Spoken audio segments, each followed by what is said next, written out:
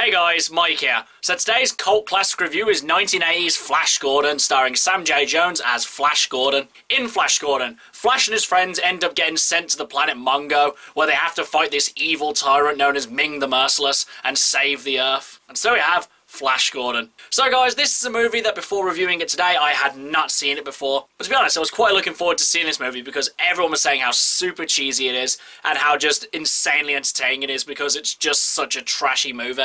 So you know, a movie that leans into how trashy it is, you know, it's gotta be a good time. And I gotta say, I kind of have a couple of mixed feelings about this movie.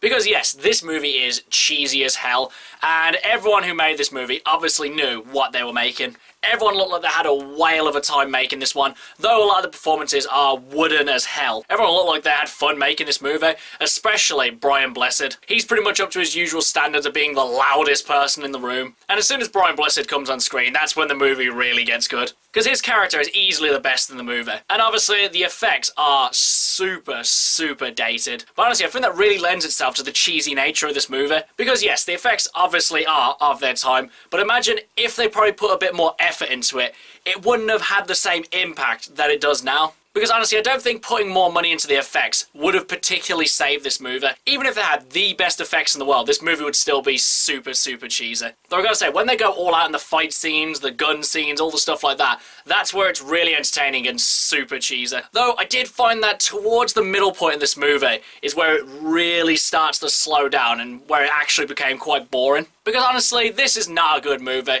So when it slows down and more or less nothing is happening, it really starts to show the quality of this film. However, when they're pretty much throwing everything against the wall and seeing what will stick, that's when it's at its most entertaining. Because when Flash Gordon goes all out, it goes all out. Honestly though, the best part about Flash Gordon is the Queen soundtrack. If you want to take your movie to the next level, you get Queen to do the soundtrack. And there's nothing like hearing Flash by Queen to get you really pumped up for a scene. And though they play this song constantly, it never fails to get you pumped up for a scene. So guys, would I consider Flash Gordon a personal cult classic? And would I recommend that you guys should watch it? Honestly guys, even though I had somewhat of a good time watching this movie, and it definitely is as cheesy as it promises itself to be, honestly, I don't really think I would put this as a personal favourite. And honestly, I don't really think I liked it all that much. Because honestly, as soon as the movie was over, I just thought, well, I would never watch that again. One time was enough. And as for recommending it to you guys, honestly, I probably wouldn't recommend it either because if you want to watch an actual good movie, then you should stay far away from this one. However, if you're willing to embrace the cheese and just watch an absolutely trashy movie, then Flash Gordon's definitely the one for you. But in all honesty, I didn't really like it all that much, and I wouldn't necessarily recommend it to anyone. Okay, guys, that's my cult classic review of Flash Gordon. Do you love it? Do you hate it? Whatever you think, drop it in the comments below. Until next time, I've been Michael. See ya!